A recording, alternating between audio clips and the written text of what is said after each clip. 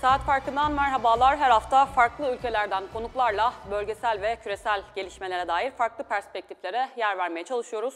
Ee, geçtiğimiz haftalarda olduğu gibi bu haftada yine e, Rusya'nın Ukrayna işgalini ve bunun e, uluslararası sisteme e, özellikle güvenlik alanındaki yansımalarını konuşmaya devam edeceğiz. Rusya, Sovyetler tarihi ve Kafkasya üzerine çalışmalarıyla tanınan önemli bir akademisyen bugün konuğum. Şu anda New York Üniversitesi Abu Dhabi kampüsünde görev yapıyor. Tarihçi, sosyolog, Profesör Doktor Georgi Derlugyan bizlerle.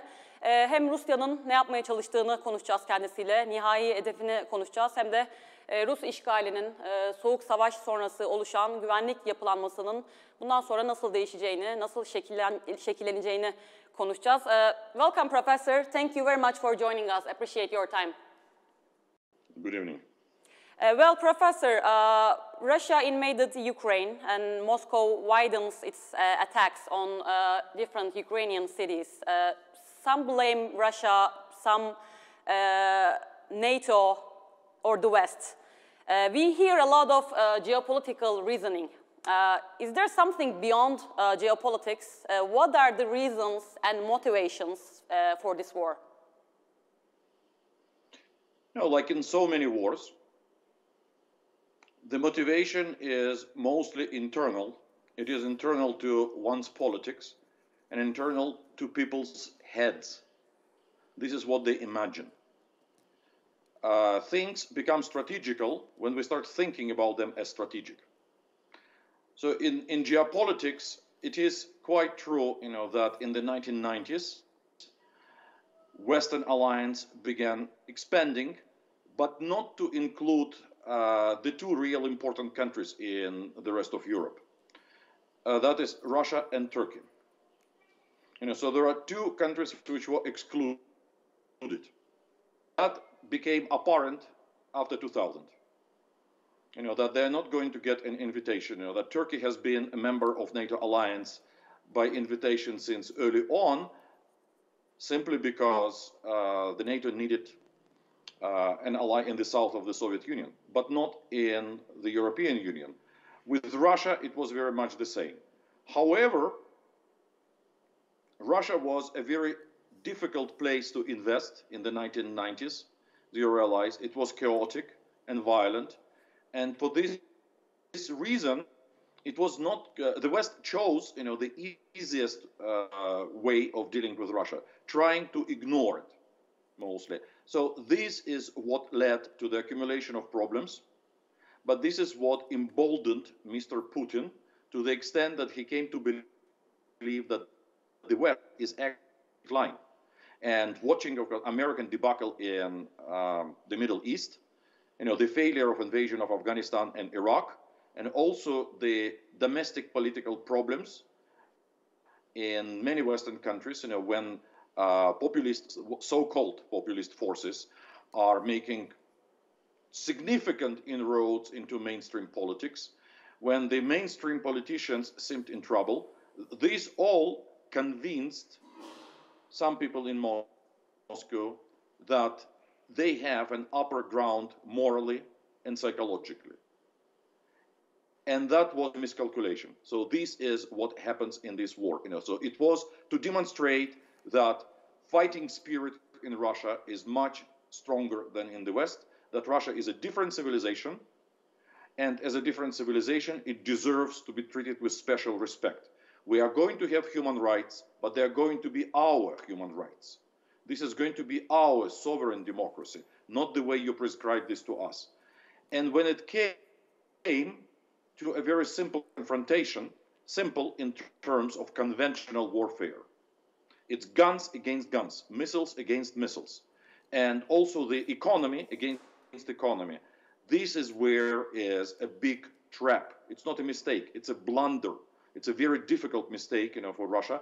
They uh, got into fighting because essentially of one man, because the whole polity now depends on one man. Mm-hmm. Since the death of Stalin, there had never been such a concentration of power in the hands of a single decision maker.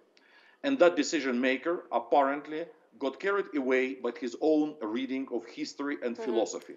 It is remarkable that Mr. Putin and writing articles about history recently and publishing them.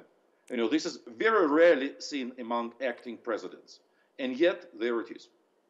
Yes, I was gonna just uh, come to that, uh, Professor Dar- uh, Darlugian. To what extent, uh, I wonder, uh, is Putin's personality and his view of history a factor here? Uh, do you agree with those analyses uh, suggesting that uh, Putin is trying to rewrite history and huge. revive the Russian Empire? Uh, not empire as such, but power. Let's put it this way. Because Putin is definitely not uh, a Russian communist. Let's put it this way. So the previous iteration of empire was communist Soviet Union. Before that, it was the empire of the Tsars. I don't think this is very uh, possible. Very- since uh, let me use the example of Turkey, you know, because these two countries are actually very similar in their trajectories. They both emerge in the 16th century. So what was, you know, Mehmet Fatih Sultan, you know, or uh, or what was uh, Selim Yavuz Sultan? You know, for Russia it was Ivan the Terrible. So at that time, both emerged as significant regional gunpowder empires in their realm. Then both of them tried to modernize Russia under Peter the Great, Tanzimat, you know, for the Turkish Empire. Both of them, both Ottomans and Russians, got into the war in World War One, which was a disaster for both of them. Both of them emerged defeated, but with a new, strong, charismatic leader, a nationalist and military leader in Turkish case, Atatürk, the future Atatürk, and the communist leader uh, in the Soviet case, Lenin, who was very soon succeeded by Stalin. So both of them became superpowers, but at the threshold of Europe. And the problem for both of them was the question: what is going to be to happen next? So what is this model, you know, of uh, nationalist development as in Turkey or communist development as uh, in Russia?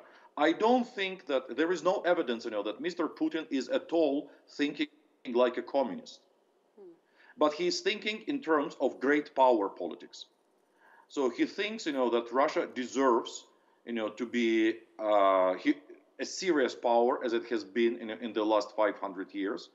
However, his thinking is not economical. You know, his thinking is primarily military and let's say public relations. You know, let's uh, remember, you know, that he is not a regular military officer. He is an intelligence officer. You know, so much of what he does is more of a covert operation with big components of uh, propaganda, with decoys, with uh, false moves. So now it's actually for the first time, you know, that he's engaged in a real military operation. He decided to do this for some reason, which we are not go- we're not going to learn ever. You know, he's not never going to tell us, you know, what was going on on his mind. Right. But definitely, at the same time, we can he said out everything. He told the whole world, you know, because he had been speaking and speaking about it, you know, that he wants Russia to be a serious power in uh, its part of the world. It will be a new kind of Russian empire, but today I doubt that it will succeed. Uh, why do you think so, Professor? Why do you think uh, he's not going to succeed? For the same reasons as before. Uh, first of all, uh, it's the economic reason. Because every time somebody speaks about a big pr- prosperity zone, uh, we are going to influence, uh, well, our countries, uh, Turkey and Russia, once again, you know, they very much like to think of themselves as big brother, and there are lesser brothers. You know, there are brothers. They are brothers. We like them very much. You know, like Ukraine, like Kazakhstan, you know, but uh, of course, you know, it's obvious who is the elder brother. However, if you are becoming a leader regionally in anything, it comes with a cost. And I don't think, you know, that the people who uh, who discuss geopolitics in these terms, in terms of national pride, in terms of history, in terms of philosophy, these are the people who also think in terms of macroeconomic performance, in terms of technology transfers, export markets, import flows. So it is actually quite amazing, you know, uh, how little analysis and preparation went into the possible sanctions. It's going to be war, but war by different means, where uh, countries of the caliber, economic caliber of Russia and Turkey, have, stand no chance. Even China, you know. So what we see now uh, is probably a demonstration of Western capacity, not just to Russia, but to many other countries. You know, look what we can do. You know, we can turn off your energy flows. We can turn off your financial flows. You know, so still control not only the best uh, universities but the currency, which everybody in the world. You know, so this is a demonstration for many others, and uh, why America is so interested in it because uh, the previous administrations, George W. Bush, was stupid enough to invade Iraq and Afghanistan. They made their own mistake. It was a big mistake, and it ended in a disaster. And many people mistook this for the end of American hegemonic position in the world. So and also European Union position. You know that many people thought that Germany would never be a military power again because of the very bad memories of 20th century Germany. But we see an incredible reversal of fortunes now. It, we are just in the early days. It's early to predict you know, what is going to happen, but it looks like the European Union is also being consolidated, acquiring a new political and military profile. This is probably a new European Union. For a long time, we've been speaking about problems in European Union, and now it looks like they are trying to solve those problems, having a very convenient, very identifiable, dislikable enemy. So there is nothing better to unite a nation or several nations than to have a common enemy. This is what we are watching now. Mm-hmm. So, uh, Professor, of course, this recent crisis is part of a series of uh, crises between Russia and the West over the past uh, 30 years, more than 30 years since the collapse of the Soviet Union. But now, as you also touched upon, uh, Western sanctions, I think, will uh, isolate Russia from uh, Europe perhaps even more fully than in the Cold War. So what do you expect? what shall we expect for the future relations between Russia and the West from now on? more Western isolation, uh, more Russian aggression ahead? Aggression, uh, it's a very good question, you know. So what can they do? You know, so uh, Mr. Putin and many people around him must be now fighting for their life, literally. You know, because what could be awaiting them, let's face it, something like the tribunal in The Hague what happened to Yugoslavia or to Serbia. So this, the stakes are very harsh, you know, so they must stay in power. There is no way they can quit power. But at the same time, you know, so how are they going to extricate themselves from Ukraine, which is becoming a very big Chechnya? So what is happening there and what is on the mind of all Russian officers for sure, that this is becoming very much like the Chechen resistance, and ironically, of course, there are some Chechen fighters and Cherkessian Cherkess fighters on the Russian side, which is not going to, to help very much. You know, so now storming big cities like Kiev or Kharkov is going to look very much like the Battle of Grozny in 1995. It's going to be awful. So, what could be the next escala- escalation? Uh, Russia or Putin, we should be specific about it. Mr.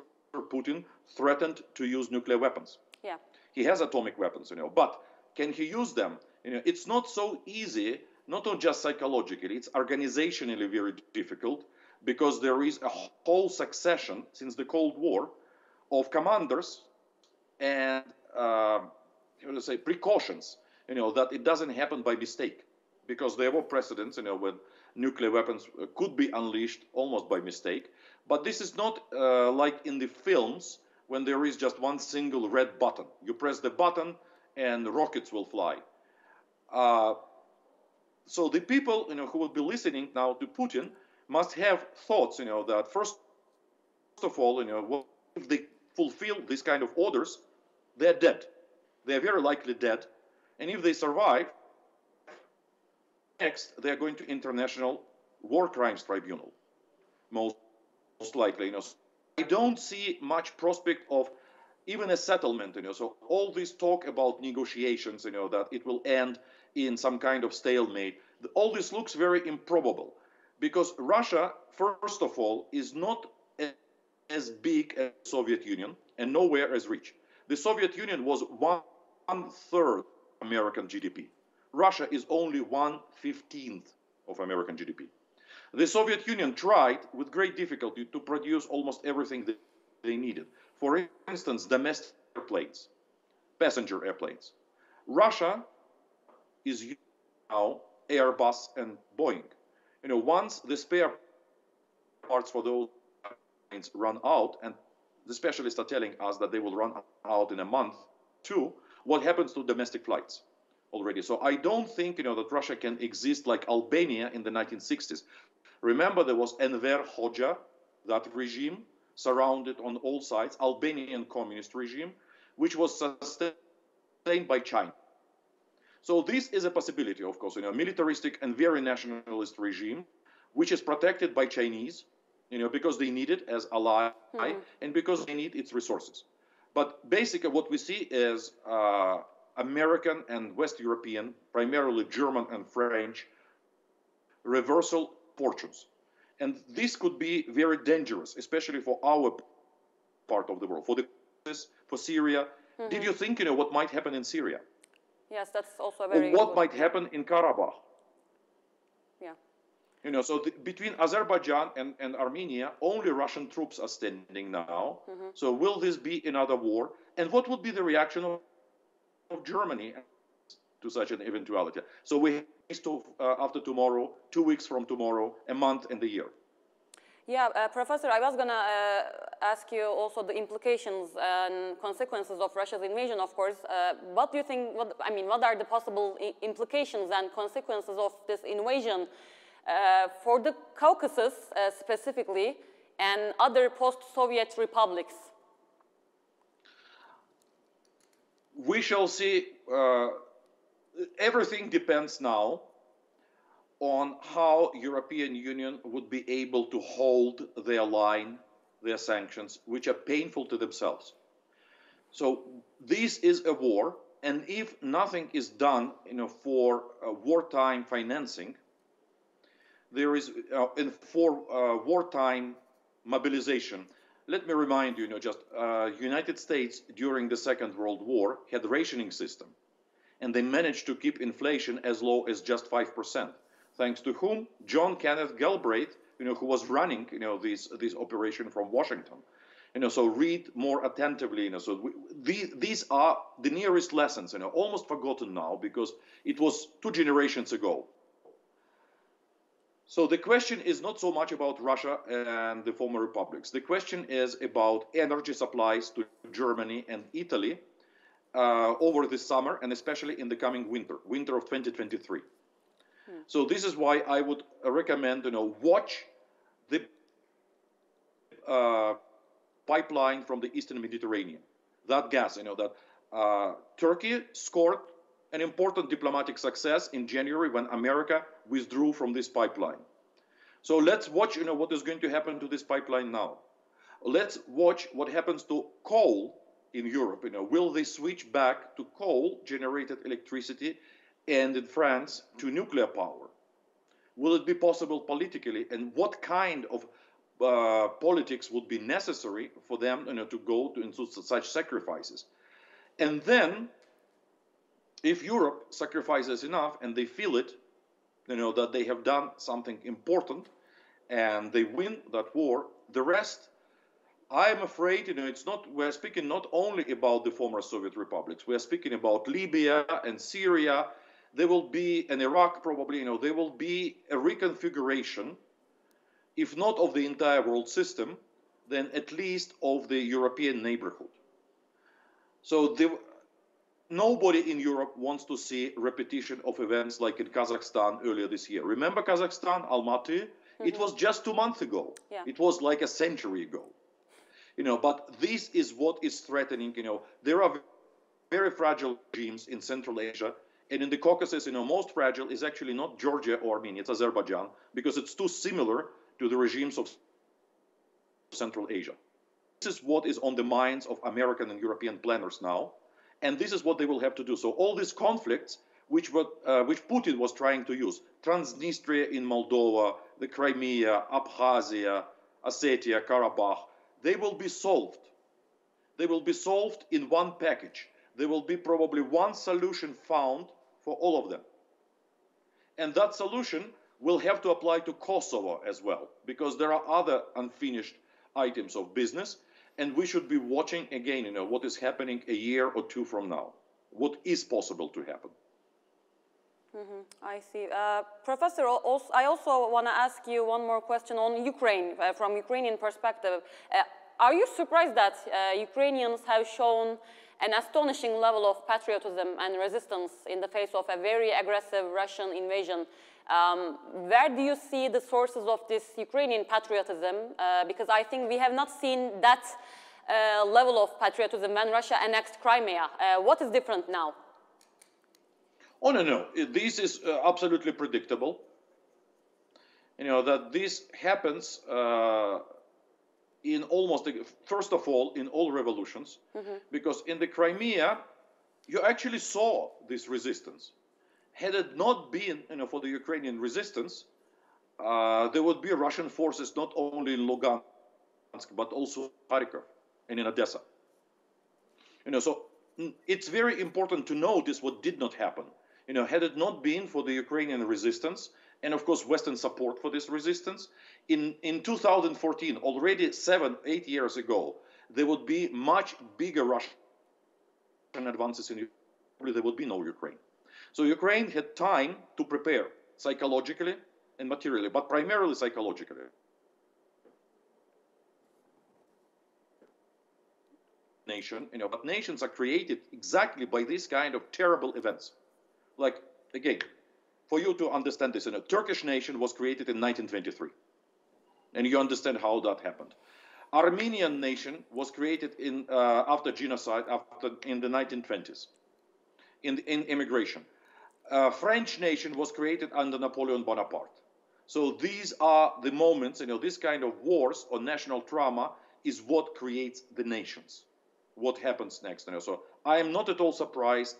Uh, this is very much like Chechnya again. You know, this is like Chechen resistance, and it has very different prospects, uh, unlike Chechnya, simply because it's much bigger and it has open border with the West, and it has uh, a lot of willingness from the West, at least to supply a guerrilla war in uh, Ukraine.